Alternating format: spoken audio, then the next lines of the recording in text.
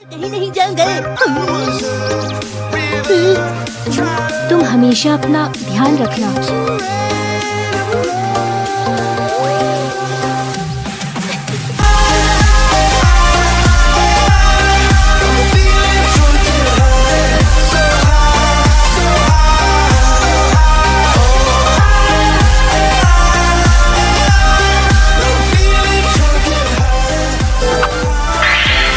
Zimbabwe की team हमेशा अच्छे काम करेगी क्यों है ना?